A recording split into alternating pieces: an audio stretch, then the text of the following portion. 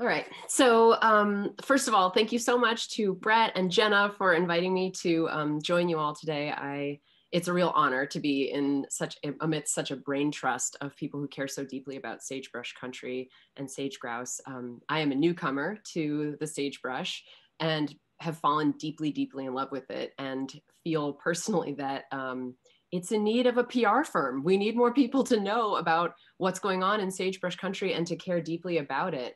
Um, and I think one way that I can contribute to that is through storytelling. And that's kind of what I've devoted my career to and trying to engage people with the natural world and science and um, these thorny, wicked problems that we face, like climate change, like cheatgrass. Um, and so sage grouse, when I moved to rural Washington, became a very clear vehicle to explore um, some of these larger themes around our um, lack of connection with nature and um, our divisions within our own country right now. Um, so what I'm going to talk about is a little bit about my journey as a journalist, how I ended up in sagebrush country, and then I'm also going to share some, some thoughts about communicating about science and sage grouse um, and these natural resource issues in the sixth mass extinction. Um, and a little bit about, I'll share some thoughts about the media landscape in this country as I think it relates to sagebrush country and why it's undercovered in these issues um, that are deserving of more attention or not getting it. Um, and then, but first, a little bit about um, why I made a podcast about sage grouse. I've had so many editors and people ask me, wait, what, sage grouse? Really? You're going to do an eight part series about a bird that most people will never see, and many people in cities where I come from, you know, the East Coast have never even heard of or thought very much about. Um, so, in this present group, we all care very deeply and think a lot about these birds. But for many people, sagebrush country is a vast expanse of land that you drive through on your way to the coast when you move west or on your way to visit grandparents that you don't get to see very often who live still in rural america but the younger generations you know are moving to the city. Maybe that'll change with the pandemic but to be to be seen. Um, ultimately the this podcast is a love letter to a bird that i think is deserving of a lot of love and at the very least wonder and awe as many of you um, you know it was, it was funny looking at the faces lighting up when uh, when someone was playing the sage grouse um, sounds earlier. It's as an audio journalist, it's one of the most magical and important reporting experiences I've ever had in my career, and one that I could not wait to share with listeners. Sorry about that dinging. I'm not sure how to stop that. Um, here we go. Um, oh, and first note, uh, I was listening to Jeff's talk earlier about wildfires, and um, was looking at the map and I am right, I live right on the edge of the black, big black spot that eliminated about 50% of sage grouse habitat in Washington state. So it was about a 40 minute drive for me to go and meet up with Michael Schroeder, who was one of the key scientists in this series um, to help explore uh, what's happening to sage grouse and why we should care. And more about him in a minute.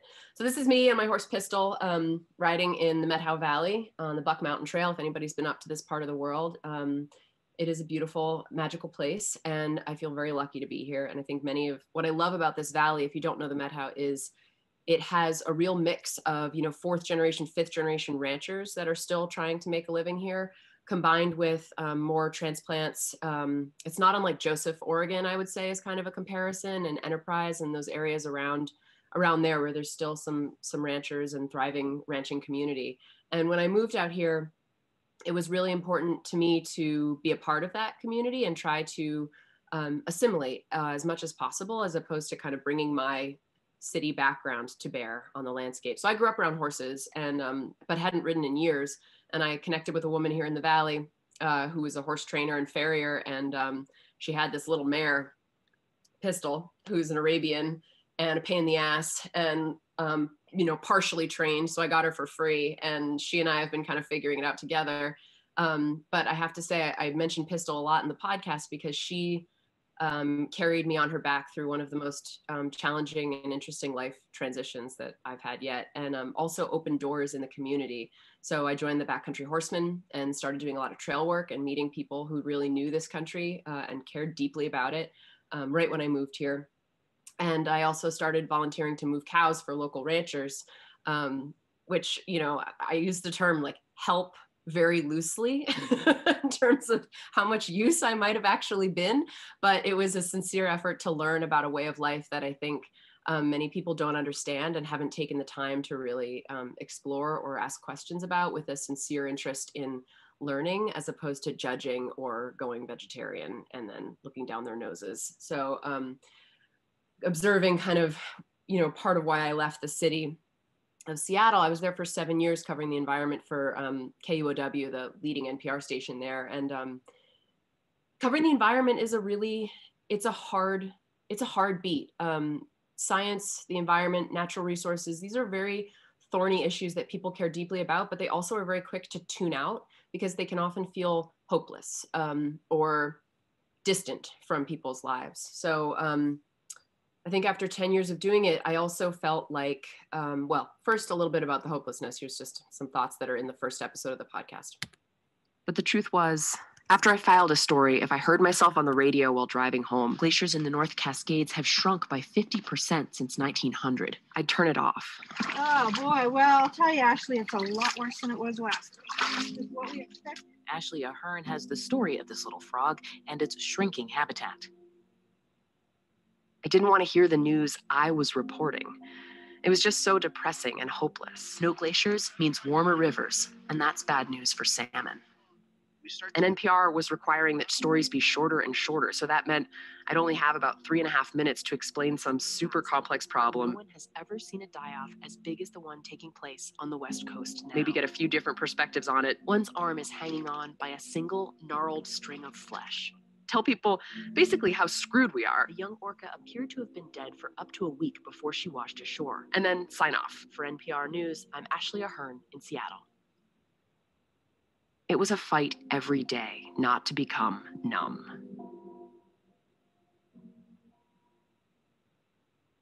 And then in 2016, everything changed. So, um, I had a boss when I first started um, working covering the environment who um, sat me down. I don't know if you folks know the show Living on Earth with Steve Curwood. It's been on the air for like 20 years or something, and he's still going and uh, taught me a lot when I was first cutting my teeth. And one thing he said to me is, um, you know, war correspondents get to come home.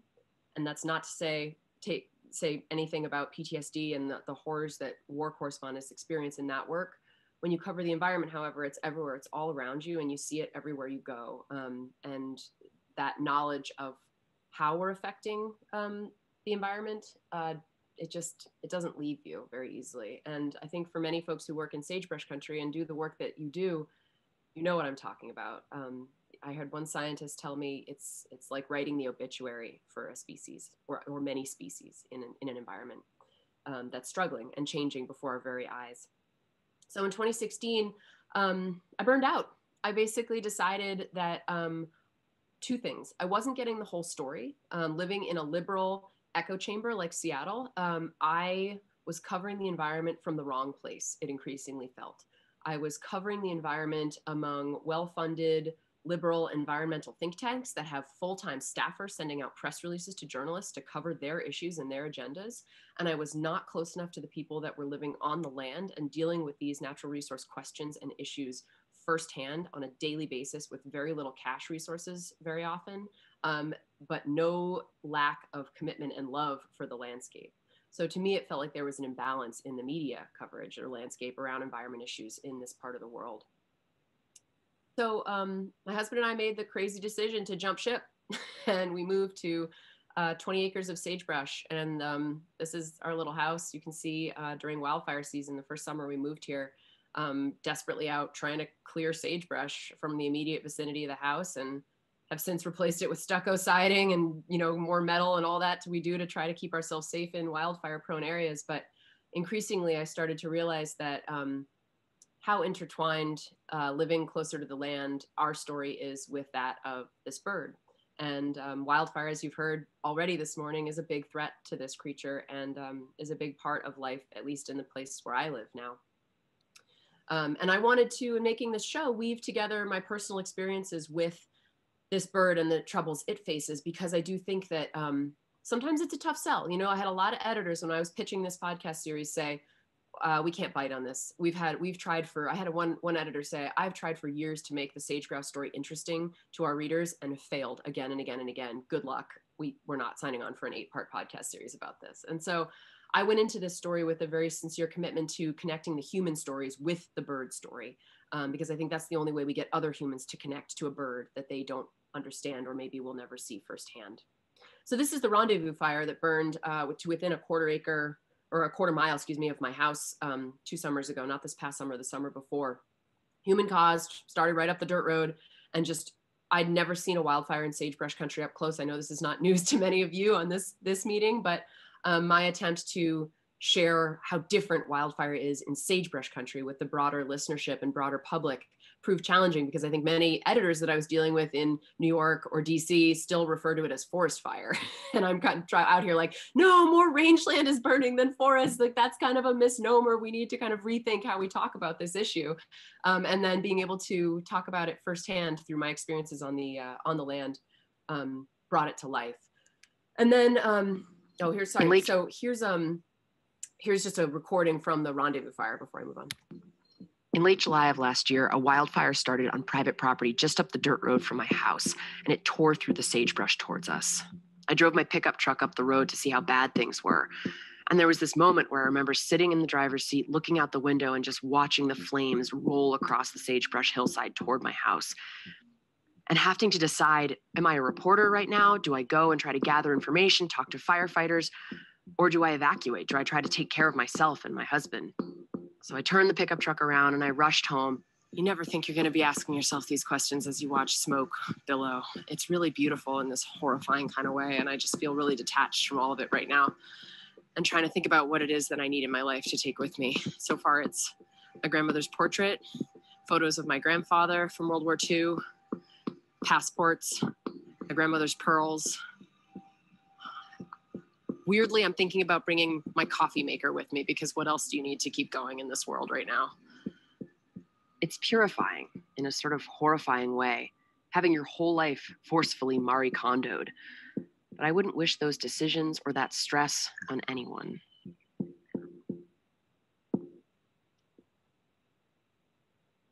So living through wildfire, I think changed how I cover it as a journalist and um, gave me a much greater degree of um, sympathy and empathy for people who live in wildfire prone areas and the way the media kind of parachutes in and looks for these horror stories to bring back to city listeners. Um, yeah, it's, it's different now for me living here. Um, but the story of wildfire is an important one that we can't look away from. And that was really a sincere attempt in this, in this podcast to um, spend some time with that. And to do that, I traveled to um, Nevada and met some really wonderful folks working for the Nevada Department of Wildlife and learned about the cheatgrass issue there firsthand. Um, part of, I think, what you all, all are trying to do, which is God's work, frankly, is communicate this issue of invasive species and how that's affecting the fire cycle in sagebrush country.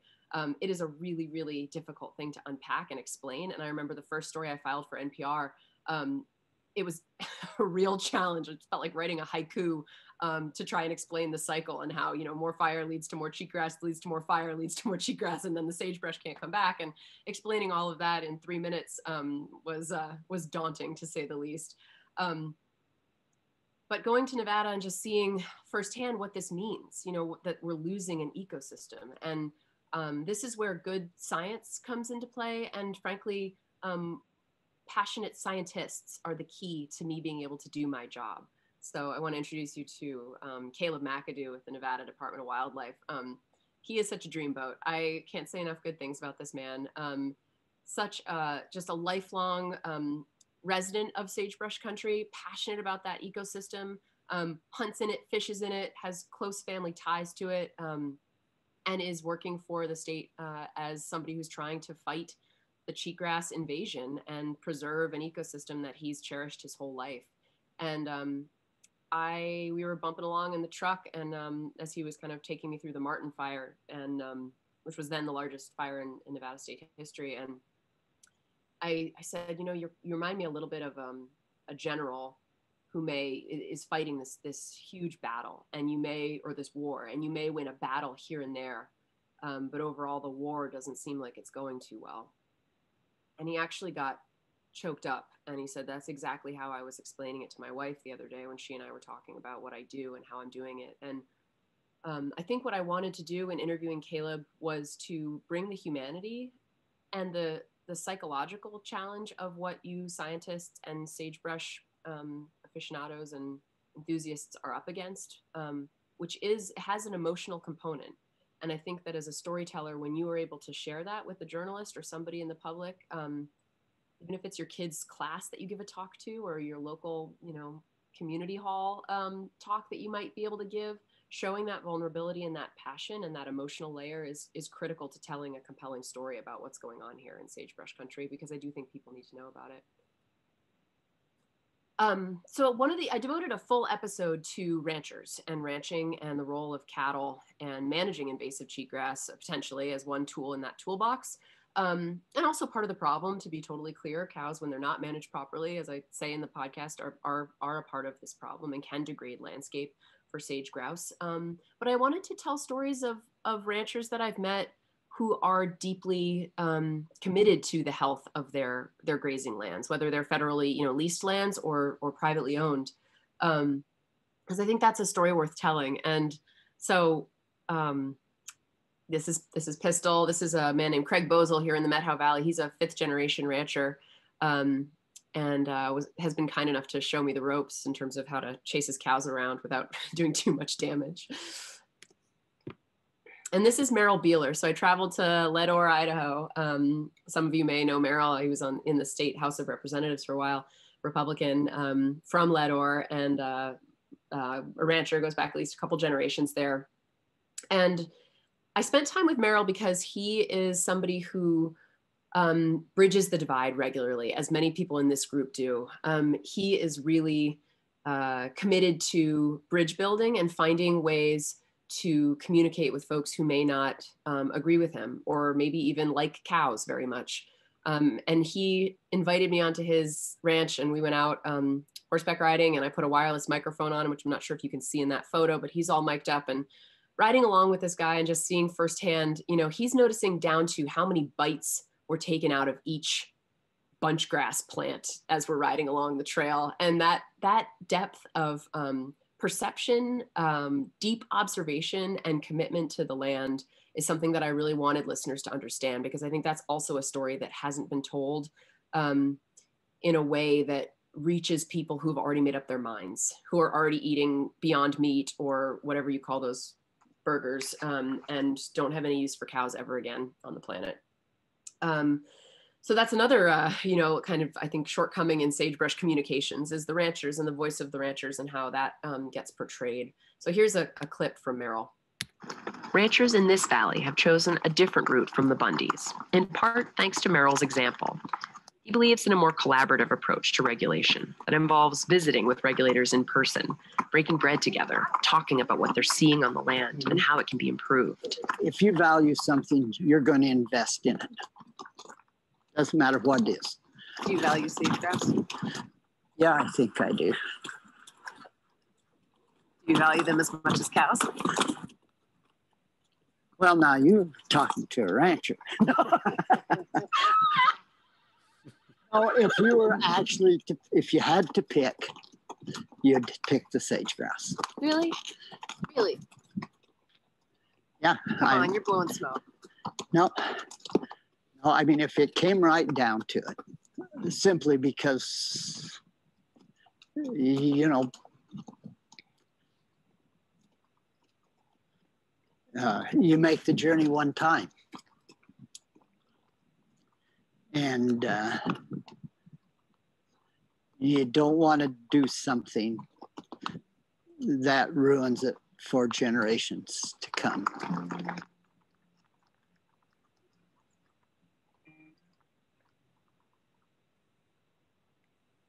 So um, bringing voices like that to the airwaves was really important to me. And, um, and Merrill was really patient and kind and sharing his perspective, but I think that's an important one.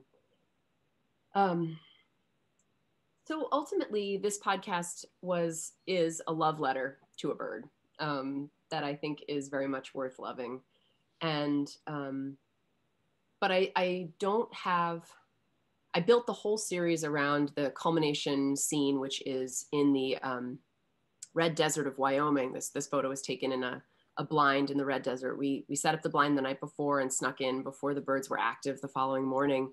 And um, just were able to sit in the freezing cold. And as many of you, I'm sure, have had this experience, but it was a really um, important life changing and life affirming one for me in recording this podcast. I had my microphone sticking out from under the blind and it has one of those, you know, winged rats kind of, or we call them drowned rats to block the wind. And the birds were practically fighting with it. I mean, they didn't notice it really, but they were right next to it, you know, right in front of it doing their displays. And um, not that the males are paying attention to much of anything besides doing their stuff when they're out there, but um, watching these birds and sitting quietly and recording and reflecting on what this means that this ancient ancient dance is happening every year again and again in the same exact places. It reminded me of, um, I covered the Elwha Dam removal on the Olympic Peninsula in Washington State. This is the largest dam removal in US history, and I'm sure many of you have heard of it. And I heard stories um, that the salmon, when the dam went in for years, would come back to the base of the dam and, and bang their, their noses against it, trying to swim upstream. And I had this image sitting here watching these birds that they come back to these same places again and again, even as oil wells are going in nearby or um, fire has burned and um, and they're kind of i guess they don't win too many darwin awards but um, there's something really beautiful about that determination and uh, eternal nature of that. So here's a little video i shot from there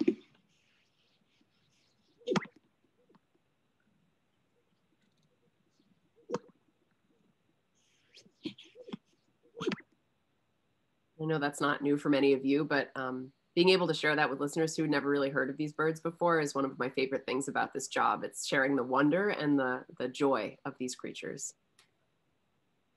And there is perhaps um, no better scientist that I've encountered yet, although I'm sure present company excluded, I haven't met you all, uh, than Michael Schroeder to help share that joy. He is one of those scientists where as a, as a science journalist who's spent a lot of time thinking about science communication and how scientists share their research, um, he's the radio gods shined down upon me when I found Michael Schroeder. Um, he is one of those uh, blessed creatures who has been doing this long enough and is close enough to retirement that he doesn't give a shit and will say what needs to be said and um, doesn't shy away from his findings and the implications of those findings and the emotional layer that can come with those findings and what we're to make the sense making, what we do with that information.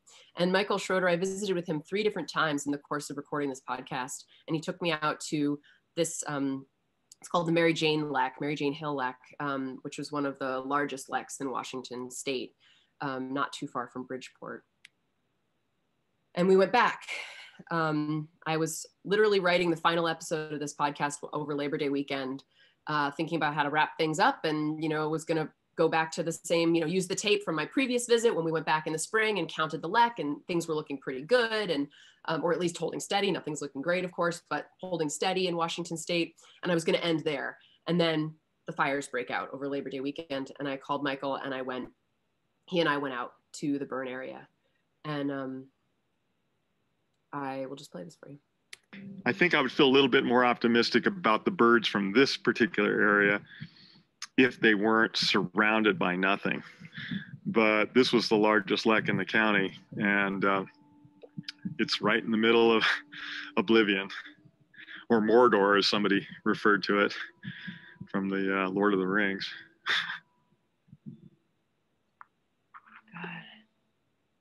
Michael estimates this fire may have wiped out half of the remaining sage grouse in Washington state. Fire is a part of this landscape, he told me. But but the reality is this country is not used to fires of this scale. And these birds who are restricted to fairly isolated populations are not able to deal with fires of this scale because the scale is so large. They don't have any other options. They don't have any other places to go. There's no recruits uh, to this population from adjacent populations because there aren't any adjacent populations.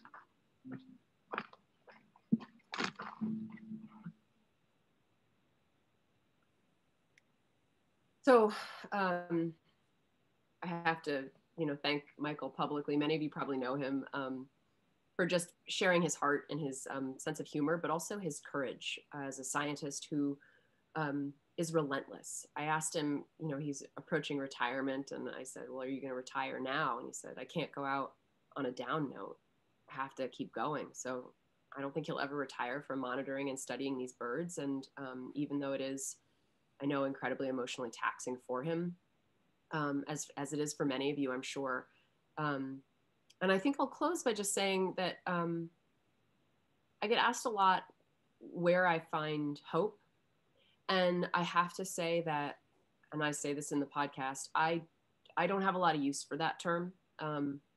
I choose the word courage instead these days. And when I say that, I mean courage to continue doing what you see is right and good in the world without the certain knowledge that you're going to solve the greater problem. And so I think when I look at the group assembled today, um, I have so much respect for what you're trying to do. And I wish that more people knew about it. And I wish there were more ways.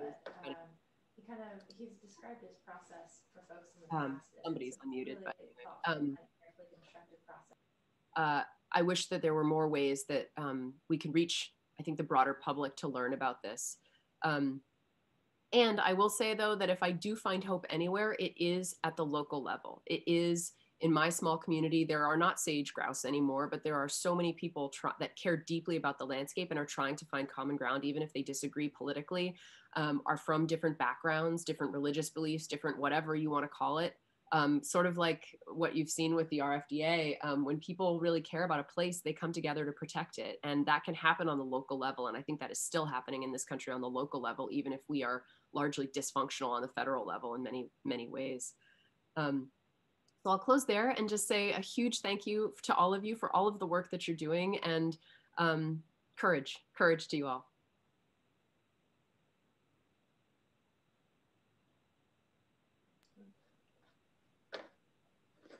Ashley, thank you. Um, I wanted to transition to our next session here, but I mean, first off, um, that was that was brilliant. It was great. I think when Jenna and I initially met Ashley, she she gave us that that whole bit about like she doesn't have a lot of use for the word hope anymore, but courage, yes. And I think we initially were like, okay, well, we were taking it all in, and it, it kind of resonated with like we don't want a sugar coated version of the world. Um, we're all trying to work on stuff that's hard enough already. And so I wanted to say, Ashley, just thank you for a taking taking the journey that you've been on and presenting through the Grouse podcast um, the rich and challenging story that kind of really does underlie the the bird and the places and the people that are connected to it. Um, I thought that was spot on, and, and hopefully everybody else was moved by it. Um, and also to thank you for your perseverance, just like birds that have a high fidelity to an area, being willing to persevere through people who told you, "Oh, we can't back the podcast," or "This is crazy," or "We don't know why you're talking about this bird." Um, so super appreciated. Uh,